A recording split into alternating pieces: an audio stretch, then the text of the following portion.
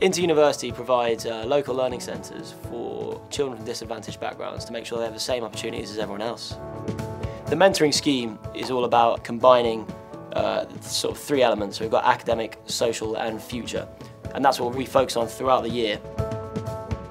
I wanted to become a mentor because I really enjoy working with young people and I really wanted to help a young person maybe uh, decide something about their future. It's definitely opened my eyes and given me more clarity on what I enjoy and what I don't enjoy. Being able to get to see someone change over just a short space of time is it's just it's really rewarding. It's fantastic. IntoUniversity I do my homework, I revise and I also met him there, so it's pretty fun. And I got the mentor last year, so it's been going on for quite a long while now. It's a really good opportunity to make a difference to someone else's life. Um, and you also make a great friend along the way as well. Like I feel like Yusuf's a really good friend to me, um, and hopefully vice versa as well. Yeah, definitely. Yeah.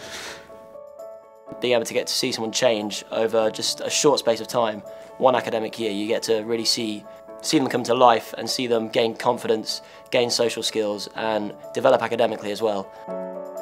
We also talked about my future and before this started um, I had no idea whatsoever like what I'm going to do when I'm older. When I came back two weeks later like it was all planned out and now I'm like ready.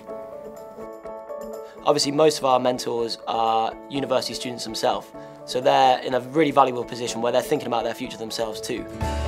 It's made me come out of my shell a bit because usually I'm quite an introverted person. I um, like to keep quiet, but obviously now kind of I have to take the lead. Think IntoUniversity allows students to come together and think about their future collectively. For these young people is, is just a great opportunity.